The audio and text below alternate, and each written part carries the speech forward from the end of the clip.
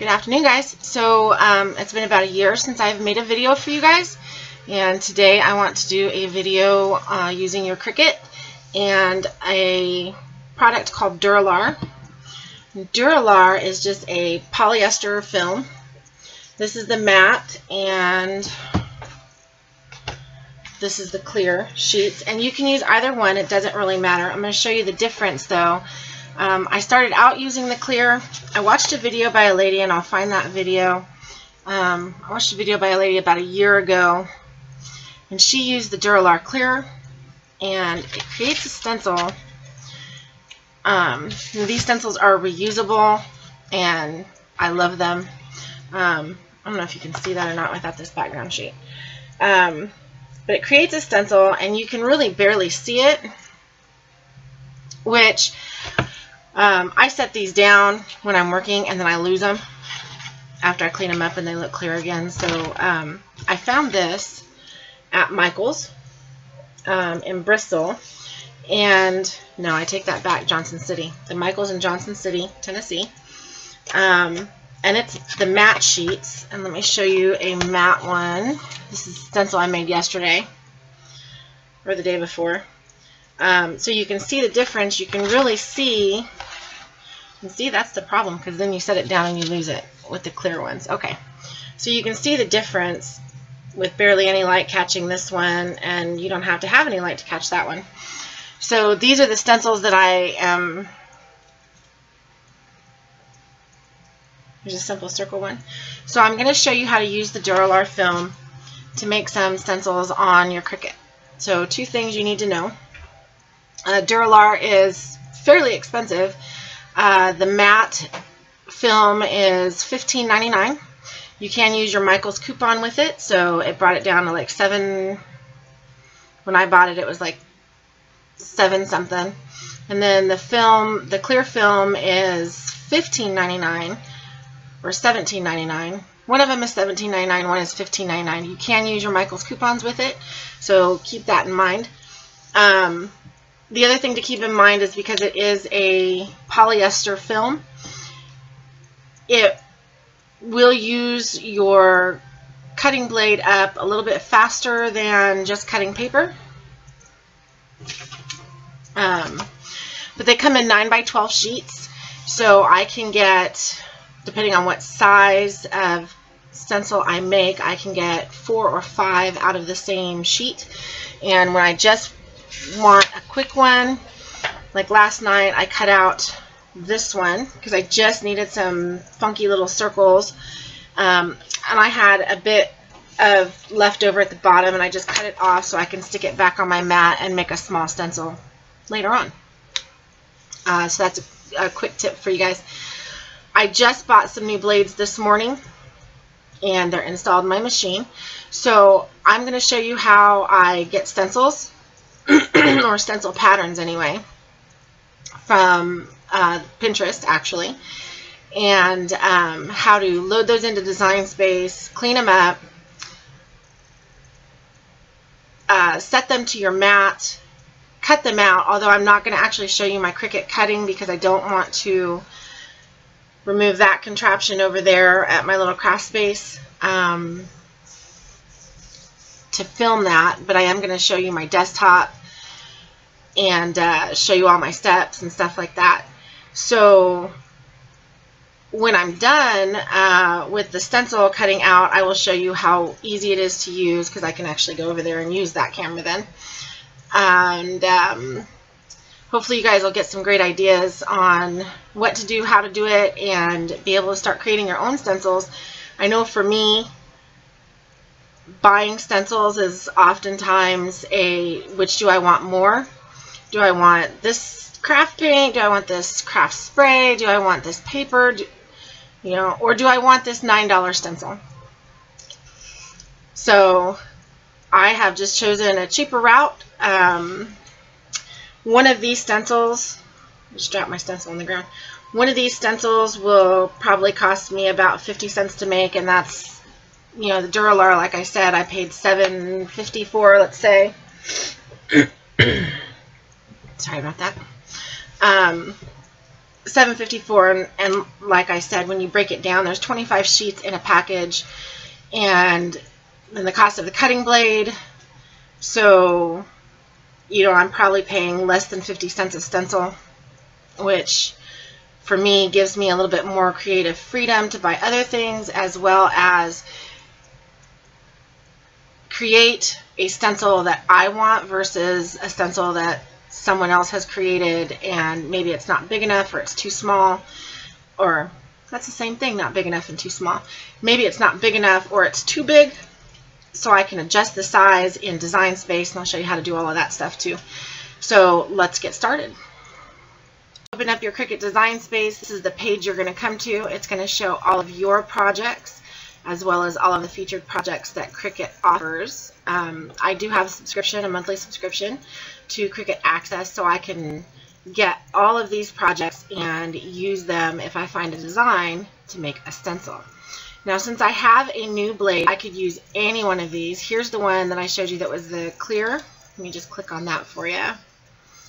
Um, and it shows you, this is this um, the image that I used, I cleaned it up, and I turned it into a stencil for me to use. So I'd have some little crackle bubble looking things, cobblestone I guess is what they call it.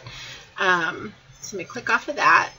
But like I said, you can use any of these if you find a design on there that you like and you'd like to make it into a stencil. That would make a beautiful stencil for journaling as well. Um, but I did tell you I was going to do this from Pinterest, so let me show you what I did to find those.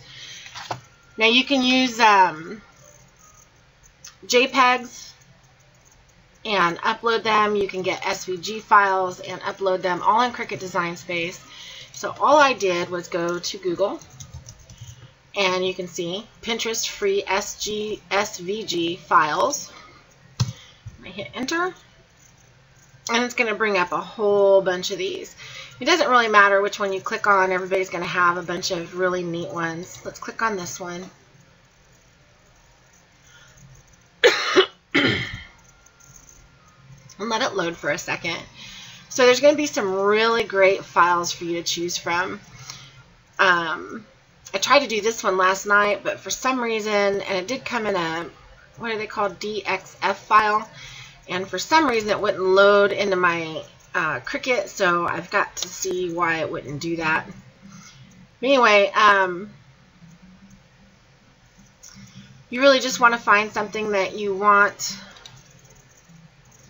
to create a stencil out of. And I tend to look for more simple designs. I'm not really one of those fussy people. I don't I don't do a lot of fussy fussy cutting or anything like that. I don't make cards, but certainly if you make cards, then definitely, definitely do that. Now, birds is one of my favorite places to go to. Oh. Let's go here.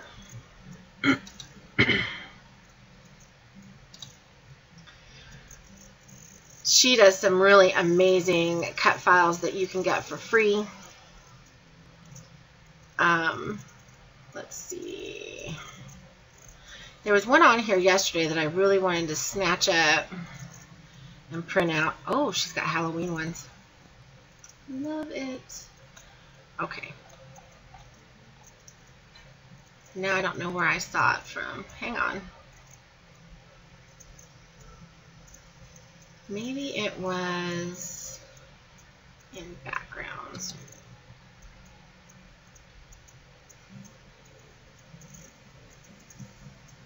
Yep, it was in backgrounds. So she has them in bundles, and you can get them. You get four in a bundle. Um, the one that I wanted was this one right here. Because I really like this diamond cut and the crosses and then this chevron pattern. I really enjoy that. So, dun, dun, dun, I don't know what I'm doing here. Okay, so just unzip it. And this is a PNG file. So what I have found is with my computer anyway, and I don't know if everybody's computer is this way, I have to save it somewhere, like to my desktop or whatever. So I just do that and we'll go back to Cricut Design Space. We want to create a new project and we want to upload that PNG file. And I could just drag it right off of my desktop, but right here. So here it is, and this is a moderately complex image because I'm going to have to pull all of these little things out. I want the detail to really show up there. So I chose moderately complex. I'm going to go to continue. And then all you want to do is just click out all these little elements that you don't want, where you want the cuts to be made, basically.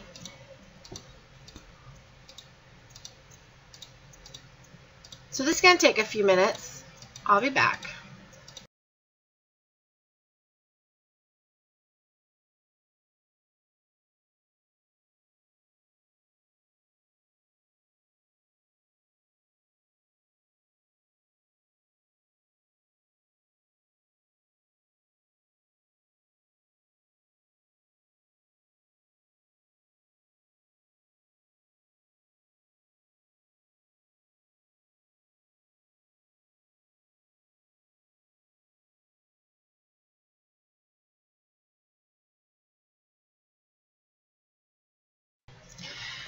So through the magic of film editing, we're all done with cleaning up our image and we're just going to click continue.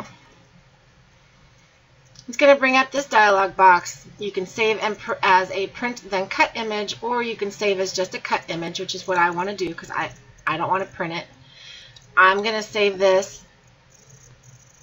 instead of background bundle 3, I'm going to save it as stencil 4 pack variant. Oh, various. And I'm going to save it. Now you can see it's right here.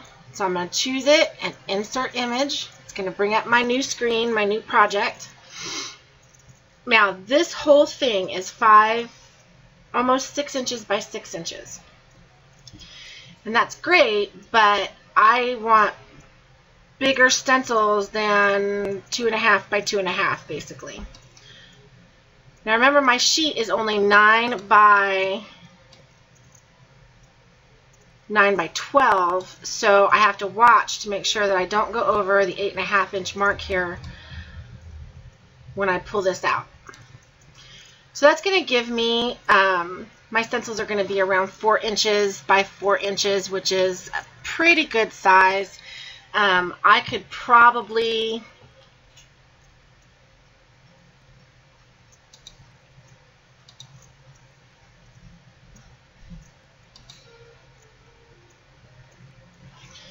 I could probably use some sort of uh, editing software and cut these apart and then put them on here individually and make them bigger but this is actually a pretty good size for what I want to do.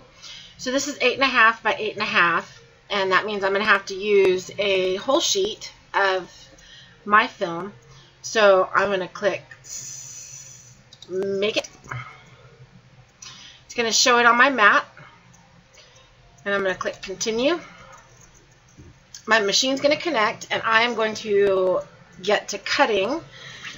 Um, so let me show you where it, this is probably the most important part when it comes to this. So it's going to ask you to set your material. I've tried various material settings with the Duralar, and um, many of them will work, but I found that I really do get a better um, overall cut if I use the magnetic sheet 0.5 and then I set my pressure to more.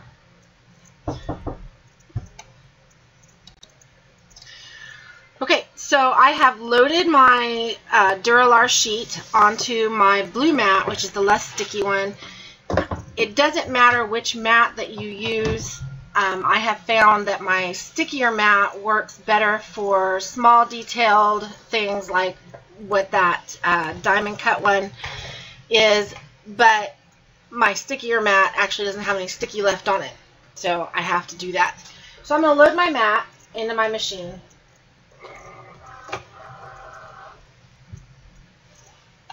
And it's going to tell me to press the flashing go button. So I'm going to do that and it's going to start cutting. And you can hear it in the background cutting.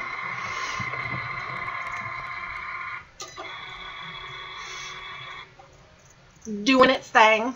Now what I like about this is that it's going to cut these into individual squares. So I'm not going to have to do any trimming with my paper cutter. So I'm going to switch back over to my regular view camera so I can peel these off in front of the camera for you guys. So here we are waiting for the cut to happen and you can hear it running over here. And I'm going to drink my Starbucks Frappuccino. Um, while this cuts though, so you guys don't get bored.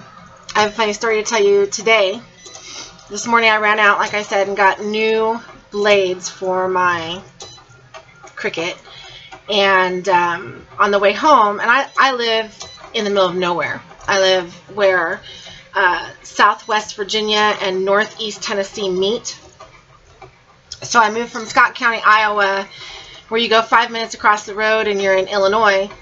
And I moved to Scott County, Virginia, and you go five minutes down the road and you're in Tennessee. So I, I live in the middle of nowhere. But uh, when I was a kid growing up, my mom always said,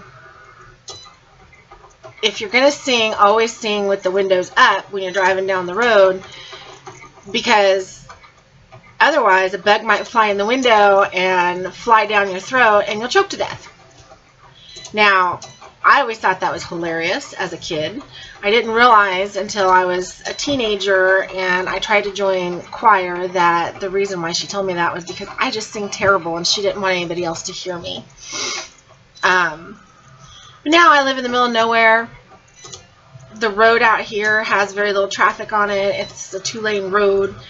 So I roll the windows down and I'm driving down the road singing my favorite country music. Lo and behold, what happens? A bug flies in the window, flies down my throat, and I nearly choke to death. So, it wasn't all. So yeah, so then, um, I get into what I call part of town, and um, I decided to stop at Priceless Foods. Now, for those of you who live in this area or are familiar with Priceless Foods, if you have them in your own area, um, you know that you pay basically wholesaler prices, and then they charge it's like 10 or 15 percent um, on top of that so um, you you really get everything cheaper. So I have this little addiction. I have this bug in my throat that I'm dry swallowing, and I need something really bad to drink. And I have this little addiction called Monster Energy Drinks uh, Loca Mocha. And for whatever reason, I don't know if Coke has a manufacturing problem or what's going on, but they haven't been in retail stores. They haven't been in my store. Um, and I work for a dollar store. They haven't been in my store for about two months, and they're very difficult to find in other stores, but you can generally always find them at Priceless. And they may be a little out of date. I don't know. I don't check the dates, but I've heard that that sometimes happens if you get them at Priceless. So I swing in there thinking I'm going to get a Mocha Loca and treat myself. Lo and behold, no Loca Mochas. So my second go-to, of course, is Dunkin' Donuts Mocha. And they are normally 250 if I go to Kroger. So I walk down the aisle. I find them, the Dunkin' Donuts mochas, and they're cold, and they were 274. So no, that's not going to happen because I'm not going to pay $3 for one drink. So I go a little further down because I look over and I see Starbucks Frappuccinos. That's my third choice. That's number three. If I can't find it after that, I just don't need it. So I look at the price. They're a buck 58. Shameless plug for Starbucks. I don't I don't typically drink their coffees anymore because it's too expensive. But I like these. Uh, my dollar store has them two for five, so two fifty a piece. Well, these were a buck seventy four. So I'm doing some quick math in my head while I'm choking on this bug, and I'm like, for the same price as I get them at my store, I can just get three. So I grabbed three of them, drink half of one down trying to swallow this, but I don't know what kind of bug it was. Y'all, the bugs out here versus in Iowa where I'm from, the bugs out here are like bizarre. Okay, they have the normal bugs. My mosquitoes in, in Iowa are brown. The ones out here are black with white spots. Kind of freaked me out a little bit the first time I saw one. And the fact that they're like the size of your fist. Then you all got these tree bugs. And I don't I've never actually seen one sitting in a tree, but that's just what all the locals keep telling me that they are as tree bugs. Um, that have like triceratops looking crowns on their heads, like prehistoric stuff. And bodies that are this long, and I'm, this is not an exaggeration, bodies like this long with legs that are like a pen, you know, coming off of them. I will post a picture of this bug that I saw the other day on my porch. and my dog, my dog will chase mice. He goes after the pit bull down the road. He's a pug who's outside right now. He's a pug. He will go after the pit bull down the road. Saw this bug and started crying and hiding behind me. I ain't even kidding. I don't, what, what do you guys feed the bugs out here? I don't I don't understand. What do you feed the bugs? Anyway. So, long story short, after all that, because it was still a long story and it's not short, uh, I swallowed the bug. And I'm, I'm just hoping it wasn't like one of those poisonous tree frogs where you touch it and you die. I'm still here after two hours after all, but still, you know, I don't know. Y'all's bugs are serious out here.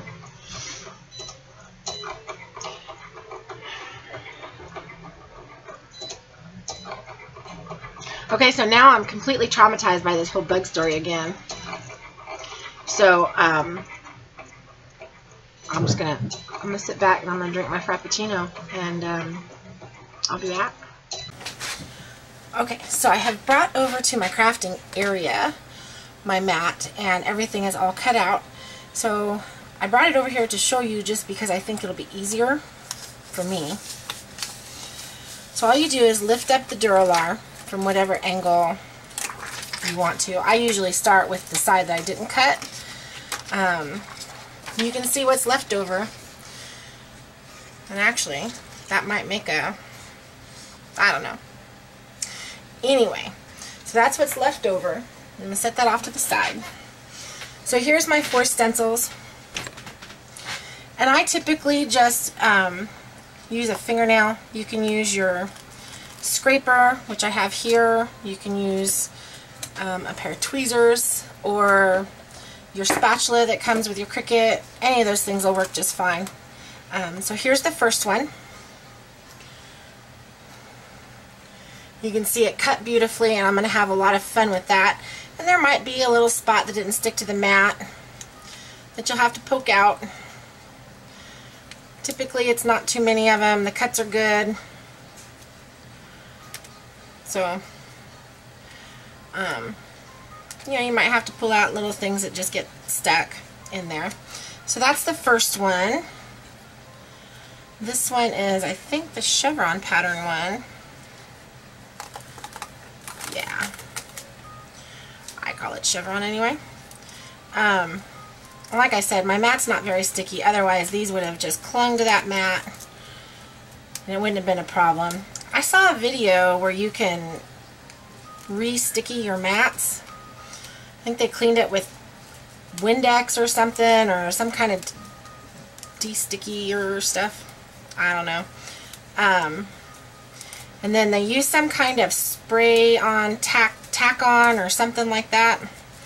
And I looked at that when I was at Michael's today, that tacky tack on or whatever it's called. And that stuff's 11 bucks. I mean, I imagine you can respray your mat 75 times with it. But um, I had craft supplies to buy, so I was not about spending $11 right then. Although I could have used my 40% off coupon because on Cricut stuff you can't use your coupon and I had a 50% off in my pocket that they came in the mail. And I used that to buy my Dylusion sprays at all. I'll show you today. So there's that one. You can see that they it, it just cuts beautifully on this Duralar. There's that one, came free really well. And the final one is this one. I guess this is kind of a chevron pattern too. I think it's more like bricklay, I guess. When I was first looking at it, um, cleaning it up, for some reason I kept thinking houndstooth, but houndstooth has that jagged little edge in one on one end, so I don't know. But there's that one. So then to clean your mat up, it's just super simple. You, I mean, typically you just use your scraper. I usually do this over the trash can to get all these little bits and pieces. Now when I did my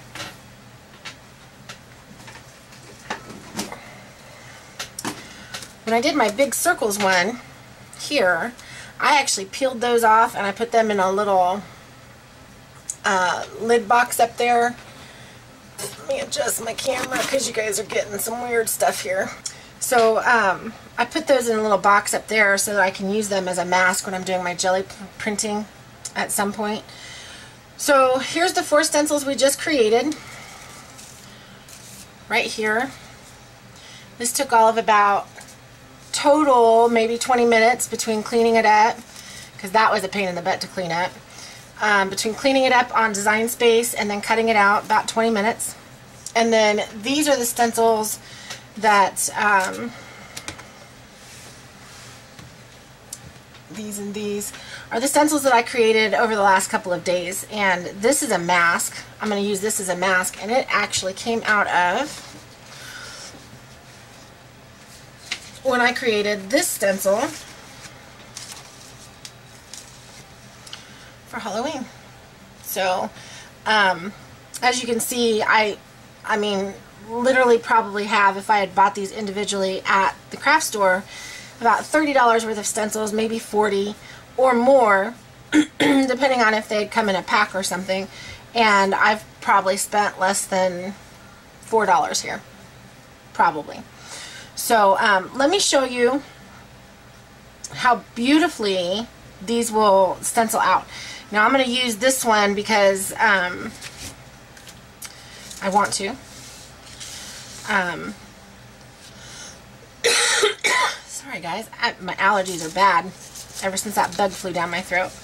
I'm just not going to let go of that. Um, so I'm going to have this guy kind of coming off the side of the page here because I want him to be a little organic. Um, and if your page is curled up like this, when mine dried, it curled up like this, I just take it on the side of my desk or I kind of gently but firmly try to flatten it out a little bit. Um, anyway, I want this guy kind of hanging off the side of the page. I don't think I, well, maybe I do want that little branch there. But I definitely want him hanging off the side of the page. Okay, so I'm just going to lay my stencil down. And um, these are the sprays that I bought today with my 50% off coupon. They're $9.99 at Michael's, 50% off. I paid $4.50 or $4.89 or something like that for them. Um, so it's the, which one is this? White linen. And After Midnight came in a package. And then I have Pure Sunshine, London Blue. This one is Fresh Lime and Postbox Red. Um, so now I have six sprays and I'm super excited about that. I have 11 of the Dylusions paints and last night I ordered um, the last 13 off of Blitsy and I will link that below. Uh, Blitsy is a great place to get them. I had some reward points from ordering other stuff on Blitsy and uh, so I got free shipping, $11.50 off my order and 13 paints and I spent less than $50. So, um, and free shipping. Woo, who doesn't love free shipping? So, I'm going to use After Midnight. Um, actually, no, I'm going to use White Linen because I want this to be kind of ghostly affected. Is that even a thing? Um, so, if you've ever watched Dyan, she'll tell you, especially with this white one, because the pigment goes to the bottom, don't shake it. Let me use my water bottle. Don't shake it. Kind of swirl it around and get it going because all that pigment sits at the bottom and um, it can gob up your sprayer. Anyway, so I'm going to use this white linen and I'll show you.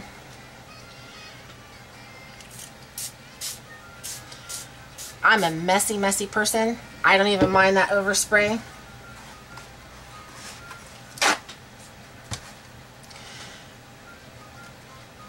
It does look like I sprayed with uh, corrective ink though. What's that stuff called? I don't remember what that stuff is called. Look at that. Look at how pretty that is. I don't even mind all that overspray because I'm going to journal on it. Um, oh, that's the other thing that I bought. So still less than $50. I got those 13 paints coming in the mail. They should be here supposedly, according to Blitsy. They'll be here on uh, Saturday.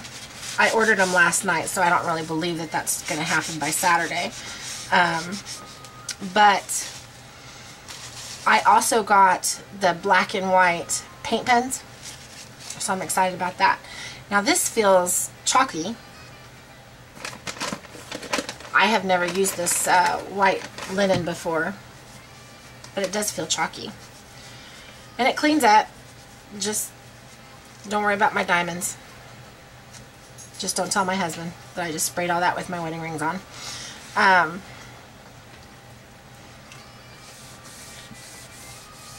but I always keep baby wipes on hand so I can clean up my messes. You can see I still have some green on there from when I actually did this page to begin with. Um, so yeah, the stencils work really great. And um, let's see. I think what I'm going to do is I'm going to clean up really quick while this dries.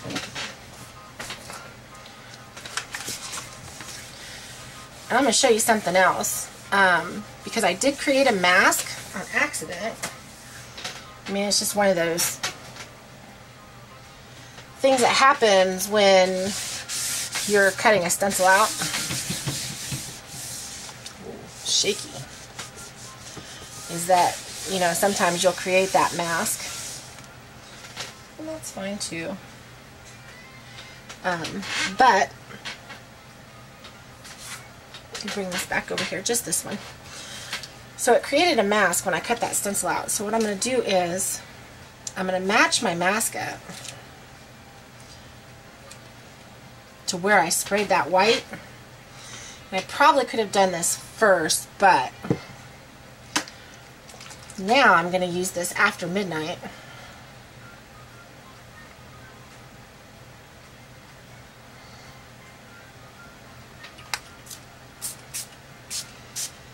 I'm just going to spray. I don't even mind that.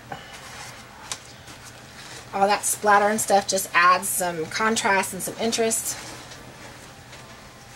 But watch this. Now that white that I sprayed earlier has really come up. Looks pretty good.